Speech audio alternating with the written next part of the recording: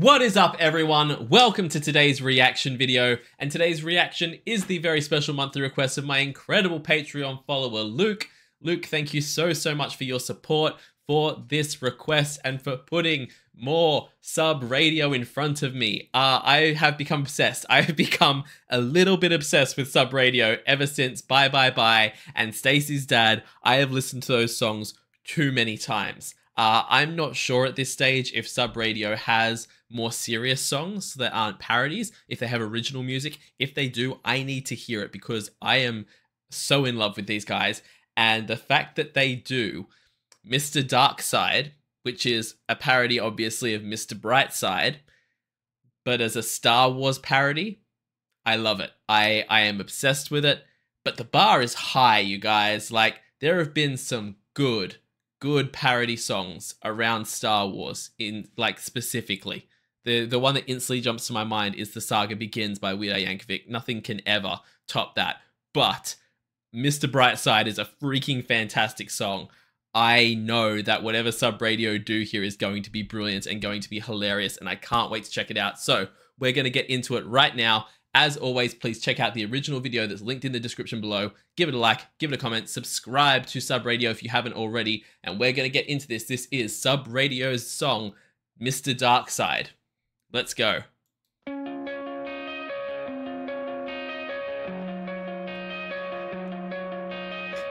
Flying into rage and I was doing just fine Saw a terrible thing inside the Death Star. It started out on my pounded it up like this. I just saw my kids kiss, I just saw my kids kiss. Of all the directions, of all the directions I was ready for that to go in, of all of the ways I thought this was gonna go, I. I just saw my kids kiss. They are focusing on the Luke and Leia kiss. I I was so ready for this to be like just just a song about Darth Vader doing Darth Vader things and all about the dark side. I'm Mr. Dark Side. I was ready for that. I was prepared for that. It would have been funny. It would have been fun it would have been what I expected. But no, Sub Radio are always going to come at you with these fantastic curveballs that is the last thing you're ready for. And a Luke and Leia kiss song.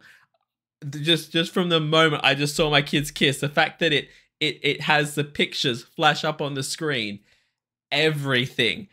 Um oh, this is going to be too much. Flying into rage and I was doing just fine Saw a terrible thing inside the Death Star It started it all makes so much more sense now. When it was flying into a rage, I was like, oh yeah, I guess Darth Vader flies in rages a lot. And then saw a terrible thing on the Death Star. I was like, when is this song meant to be taking place? Because like the, the terrible thing on the Death Star, you're talking about when he killed Palpatine. Like, what's he talking about there? And then, oh my god, okay. I just saw my kids kiss, I just saw my kids kiss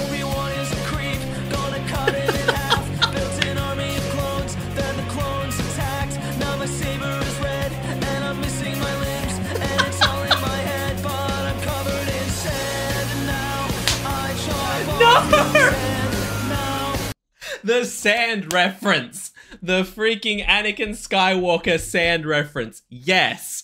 Yes. the fact that they are pulling out so many fantastic references through this whole thing, just one after another after another. I'm gonna cut Obi-Wan in half. My light- lightsaber's red. I'm covered in scar. But the, the, the covered in sand line, everything. Oh my god, you can tell. That's the thing I love about Sub Radio is that you can tell coming into this, they're fanboys. They aren't coming into this going like writing a Star Wars parody with only like base base knowledge of Star Wars, only base stuff. They are in there. They they know little the the the, little the little touches you put in there to just make it brilliant. Oh my god.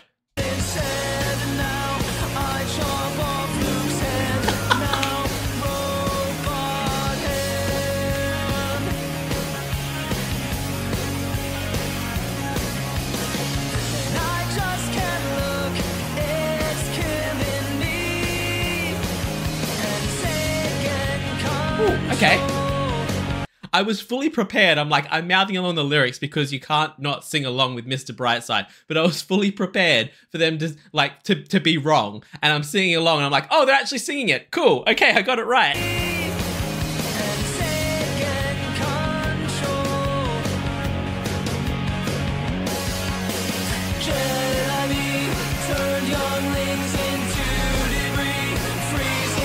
and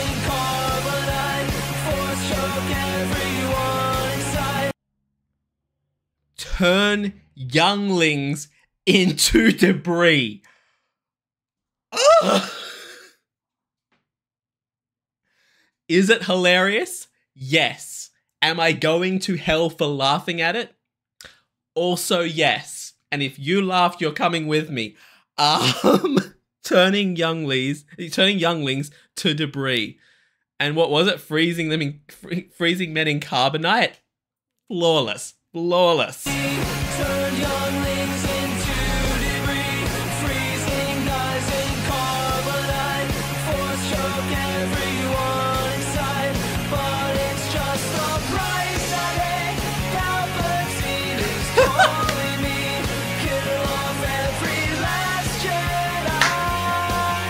Love it.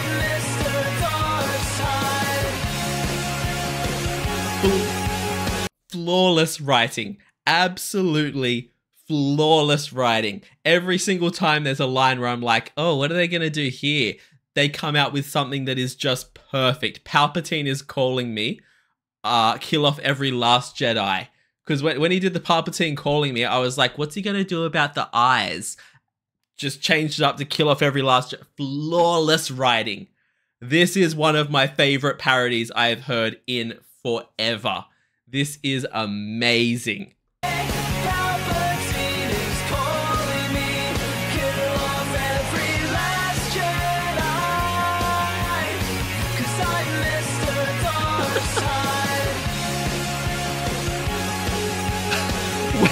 Wait, was he using the force to play the keyboard? I like I liked the moment on the drums where his bandmate was holding out the microphone to him, but then he's he, he you see him just using like the force to play the keyboard.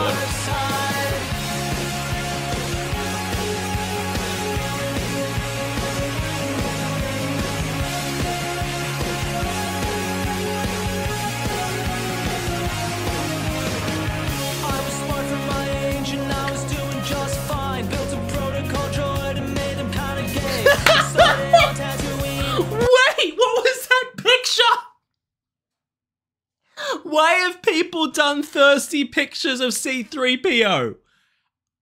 Why why is that a thing?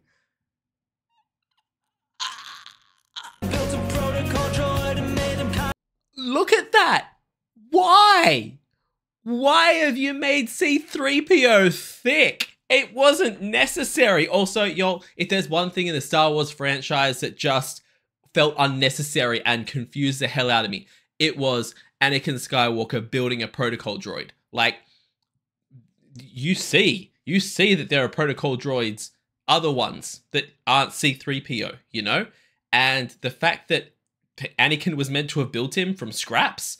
It's like, okay, cool. Did they take Anakin's design and then just make it go uniform everywhere? Did he invent an entire kind of droid? Or is what he really saying is that he found a whole bunch of parts and combined them uh, of protocol droids and combined them together to make C3PO, in which case C3PO is just kind of a really crappy secondhand Toyota kind of pro- protocol droid, you know? It's just a mishmash of parts he's stuck together. Either way, how did the uh, anti Sith code get in his head? That's a whole nother thing. But yeah, C3PO's lore is just confusing to me. If you all want to, if, if there are if there are some Star Wars fanboys, some big time Star Wars fanboys who know all the background stuff there, and you all want to info dump, I'm here for it because that's that's always been an itch in my brain when I watch those movies. When you find out that Anakin's building C3PO to help his mum, you're like, okay, but I've seen other protocol droids that look exactly like him later on. So what? Either way, either way, if you're a Star Wars fan,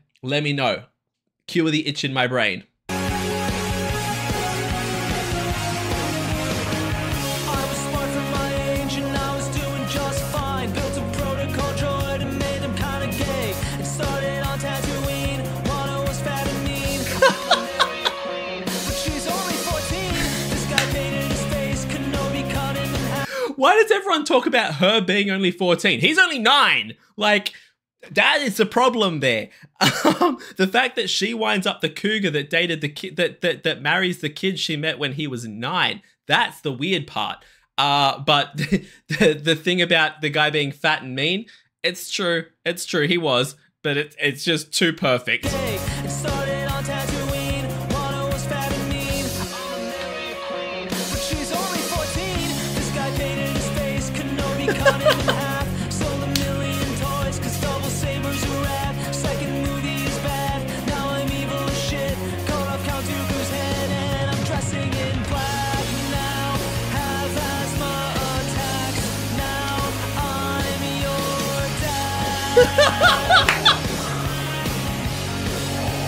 No. The the Darth Vader breathing sound effect is perfect. But the thing about the thing about sold all the toys called double lightsabers are sick. Yes, yes, a hundred percent. They it is so impractical, so freaking impractical compared to the normal lightsaber. And yet, if I was in a situation to pick one or the other, I'm going for a double lightsaber for sure. And it's so impractical. Uh, but yeah, they're, they're just too perfect.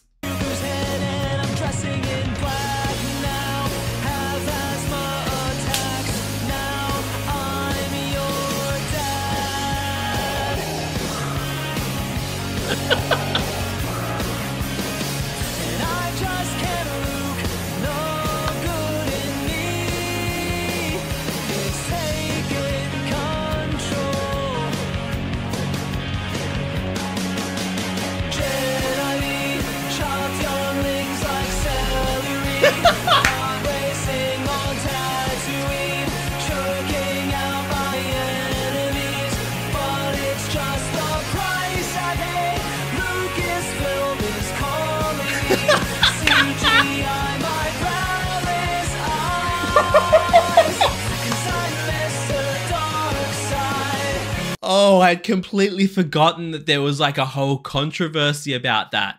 Like, honestly, when you compare that over to Superman's terrible mustache, Star Wars fans had nothing to complain about.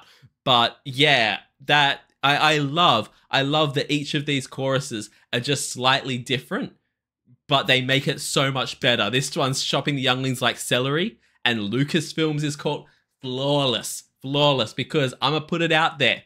I'm gonna put it out there does anyone else feel like each time Star Wars is having some movies or having a franchise where they're like, it's not doing as well as we hoped it would do? Is there a way we can throw Darth Vader in there? Yep, yep. We'll, we'll make another movie and we'll put an awesome Darth Vader fight scene at the end of it. Perfect, done, seal the deal. And honestly, like, there's just it, it's just it just happens a bit too much for me in terms of Darth Vader is just their go-to because he is just the like he's just an awesome villain. It is just so so good. Uh, but yeah, that I I I I I wasn't a fan, and I need to rewatch it. But I wasn't a fan of Rogue One the movie. I need to rewatch it because I think I might have had a bad taste in my mouth for Star Wars at the time I watched it, and I didn't expect much. Maybe if I go back and watch it now, I'll enjoy it more. But that last scene, that Darth Vader hallway scene, redeem an entire franchise with that one sequence. That's almost as good as the Luke Skywalker sequence from Mandalorian. If y'all haven't seen that and you like Star Wars, go watch some Mandalorian because damn, that was sick. But yeah, um, we're getting off track. But yeah, Darth Vader is just like, yep, I can see why they keep calling you.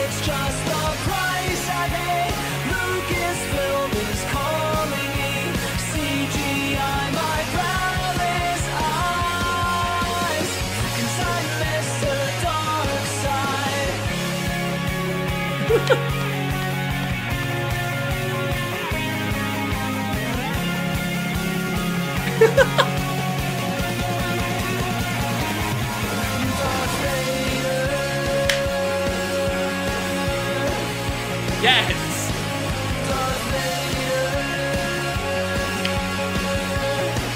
Why were they beating him up? Oh, those are sick! Excuse me with the lightsaber drumsticks, they were sick. But uh why are they beating this guy up? What is going on there? Uh, also, yeah, this whole sequence, Darth Vader using his lightsaber as a microphone, incredible.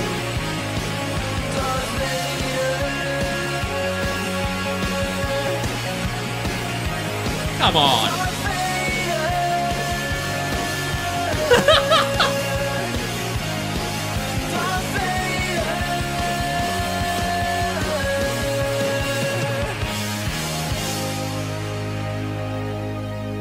In freaking credible. That was amazing. Yo, every single time, every single time, I think Sub Radio can't put out a better parody than their last one. They step up the game. Stacy's dad was phenomenal. Bye Bye Bye killed me. This was a whole nother level. The amount of references that were just flawlessly executed in there. If if you're a Star Wars fanboy, you are like, how could you not love this? That was absolutely fantastic.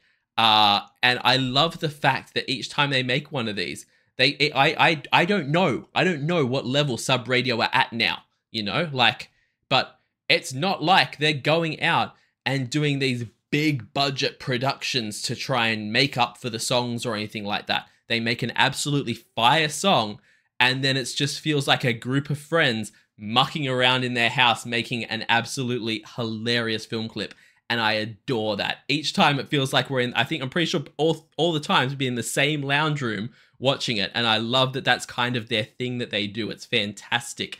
But yeah, uh this was incredible. I loved this so so much. Guys, if you enjoyed the video, please jump in the link in the description and give the original video a like and a comment and subscribe to Sub Radio because they deserve all of the love and support in the world. Also, leave me a like and a comment. Uh, let me know your obscure Star Wars lore down below. I know that there's comic books and novelizations and things like that that I've never even dipped my toe into. So let me know all that down below. If you have obscure lore for me, I love it. Uh, also, subscribe to the channel because it helps out so, so much. I can't even begin to tell you. Uh, check me out over on Patreon, where I do weekly polls for the reactions that I do here on the channel. I do multiple weekly TV show reactions. We're currently doing reactions to the UK version of the TV show Ghosts. We are doing season one of Supernatural, and each week I put out a bonus reaction to an episode of a show of my choosing. So, three weekly TV show reactions currently. Uh, I also do a monthly movie reaction. We're starting the poll for what movie we're going to be reacting to in May very soon. We just reacted to Journey to Bethlehem, which was fantastic. Uh, yeah, so we'll start be starting a whole new, brand new poll over on the Patreon very, very soon. I also do a monthly live stream, which is coming up in just a few days' time. I am going to put a counter right now on the Patreon. So if you go over there, it'll be available for everyone. You can see the countdown to exactly when the stream is going to be in your local area. So go there, check it out. And if you're available for the stream, uh, come to it because it's fantastic. We do six live reactions. Uh, there's a live chat where we all have an absolute party. It is just a brilliant time. So that will be coming up later uh, towards the end of this week. Uh, and at the highest tier, just like Luke did today, you can get a guaranteed reaction right here on the channel. So check all those features out over on my Patreon. I will see you all in the next reaction video. Have a great day, night, morning, evening, afternoon, whatever time zone you're in, and I'll see you next time. Bye.